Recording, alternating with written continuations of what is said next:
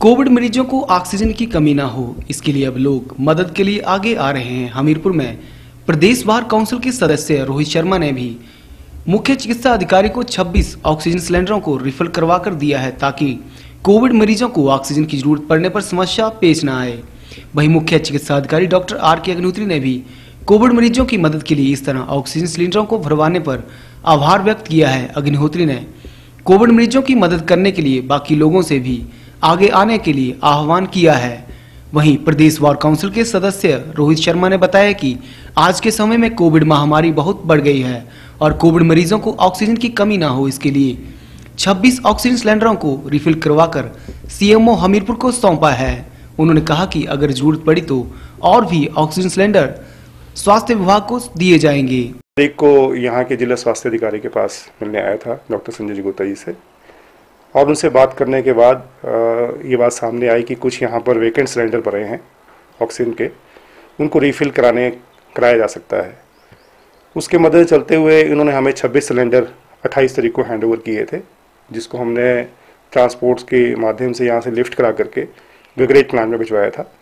आज वो सिलेंडर हमें रिसीव हो गए हैं और आज सुबह ही 10 बजे गाड़ी आई है। हमने ये सिलेंडर को हैंड ओवर कर दिए हैं, जो आप यहाँ पे टेलीविज़न पर इस चैनल पर देख रहे हैं। ये सिलेंडर देने का मकसद सिर्फ़ ये है कि आज हम आए दिन देखते हैं कि ऑक्सीजन की किल्लत जो है हर जगह हो रही है। और इस महामारी में ये मुझे लगता है कि कुछ छोटा सा हमारा एक कंट्रीब्यूशन है यहाँ के समाज के प्रति। और हम देख रहे हैं कि चाहे दिल्ली है, चाहे बाकी राज्य हैं, वहाँ पर ऑक्सीजन की किल्लत से लोग मर रहे हैं। ऐसी किल्लत यहाँ ना हो, उसके चलते छोटा सा कदम समाज के लिए बढ़ाया है। गांधी चौक पर एक हमारे युवा कांग्रेस के साथी हैं मोंटी संधू जी।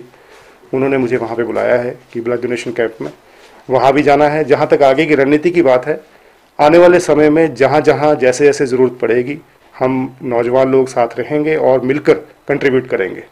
मैं ज़्यादा चिंतित इस बात से भी हूँ कि संक्रमण की चपेट में यहाँ के विधायक नरेंद्र ठाकुर जी भी आ गए हैं और मैं उनके भी जल्द स्वास्थ्य लाभ की कामना करता हूँ और मैं चाहता हूँ कि वो जल्द अपने परिवार में सकुशल और स्वस्थ जल्दी हों। और मैं ये कहना चाहूँगा कि मैंने इससे पहले भी एक टेलीविज़न चैनल के माध्यम से कहा था कि मुख्यमंत्री जी यहाँ पर दो हफ़्ते पहले आए थे। मैंने उस वक्त कहा था कि जो यहाँ का नेतृत्व है, उनको यहाँ के लीडरशिप को इकट्ठे होकर के माननीय मुख्यमंत्री जी को यहाँ की जो दशा है उसके बारे में बताना चाहिए। यहाँ कितने सेंटर वैकेंट हैं, कितने सेंटर मंगाए जा सकते हैं, इसके बारे में सारा उनको अवगत कराया जाना चाहिए। तो कहीं ना कहीं मुझे लगता है कि उसी कड़ी में मैंने वॉल्टरली आकर के इस बात में डीएचओ साहब से डिस्कस किया। और उन्होंने मुझे बताया कि यहाँ पर कुछ सिलेंडर वैकेंट हैं और उनको अगर आप लेते हैं तो आप भरवा के अगर देते हैं तो वो एक उसमें कंट्रीब्यूट करेगा। यहाँ साथ ही आयुर्वेदिक कॉलेज में हॉस्पिटल में एक सेंटर है कोविड का एनआईटी में कोविड का सेंटर है। तो मैं चाहता हूँ कि इसके अलावा जितने भी प्राइवेट हॉस्पिटल हैं, वो भी वॉलेंटरली आगे आएँ और वो भी अपना एक एक वार्ड जो है वो कोविड सेंटर के नाम पे डेडिकेट करें। और जितने भी यहाँ पर लोग हमारे हमीरपुर में हैं और साधन संपन्न है, वो लोग सारे सामने आए और इस महामारी में ये आलोचना का समय नहीं है। यहाँ सिर्फ़ महज आलोचना से काम नहीं चल सकता। ये सिर्फ़ ये समय है जहाँ पर हम सभी को इकट्ठे आकर के समाज के प्रति अपनी जिम्मेवारी समझनी चाहिए और कंट्रीब्यूट करना चाहिए। वहीं मुख्य चिकित्सा अधिकारी डॉक्टर आर के अग्निहोत्री ने बताया कि बार काउंसिल के सदस्य द्वारा 26 ऑक्सीजन सिलेंडर रिफिल करवा कर दिए गए हैं। उन्होंने आभार व्यक्त करते हुए कहा कि इससे मरीजों को राहत मिलेगी। उन्होंने बाकी लोगों से भी अपील की है कि इस तरह कोविड मरीजों की सेवा के लिए लोग आगे आए। ये बार एसोसिएशन के के द्वारा जो हमारे रोहित शर्मा जी हैं एडवोकेट जी, इन्होंने हमें अप्रोच किया और कहा कि हम कोविड के पेशेंट्स की कुछ ना कुछ जो है वो सहायता करना चाहते हैं किसी रूप में। तो हमने इनसे यही रिक्वेस्ट किया कि आप अगर करना चाहते हैं तो जो हमारे पास सिलेंडर है ऑक्सीजन के, उनकी फिलिंग करा दें। और इस तरह से इन्होंने फिर हमारे जो थे 11 जो है वो डी टाइप के बड़े सिलेंडर हैं उनको और जो 15 सिलेंडर हैं वो बी टाइप के वो इन्होंने फिलअप कराए और हमें जो है इनके हैंड ओवर किए हैं वो और वो कोविड पेशेंट के लिए यूज़ करी, किए जाएँगे। वो सामान्य लोगों के लिए हम यूज़ नहीं करेंगे, वो कोविड पेशेंट के लिए एमरजेंसी में यूज़ किए जाएँगे। हालाँकि हमारे पास ऑक्सीजन सिलेंडर हैं। माननीय मैं जो हमारे एम पी हैं, Anurag Thakur ji minister of state for finance उन्होंने भी दिए हैं।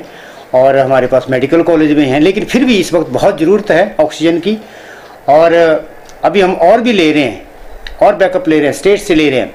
लेकिन मैं तह दिल से स्वास्थ्य विभाग जो है, इनका, रोहित शर्मा जी का, इन्होंने पर्सनल एफर्ट किए और ये स्वास्थ्य विभाग को दिए। इनका शुक्रिया अदा करता हूँ और अपील भी करता हूँ जनमानस से कि आप सभी लोग, सामाजिक, ये एक कार्य होता है। सबकी सेवा, मरीजों की सेवा करना हमारा सबका काम है। हेल्थ डिपार्टमेंट भी जुड़ा हुआ, बाकी जुड़े हुए हैं डिपार्टमेंट, सभी विभाग तो लोग इकट्ठे आए और जिस तरह से कुछ अगर करना चाहें तो वो करें। आपको बता दें कि दो दिन पहले ही केंद्रीय राज्य वित्त मंत्री अनुराग सिंह ठाकुर ने भी स्वास्थ्य विभाग हमीरपुर को 50 ऑक्सीजन सिलेंडर भिजवाए हैं और अब कोविड मरीजों की मदद के लिए बाकी लोगों के द्वारा भी मदद के हाथ बढ़ाए जा रहे हैं, जिससे कोविड मरीजों को आगामी दिनों में राहत मिलेगी।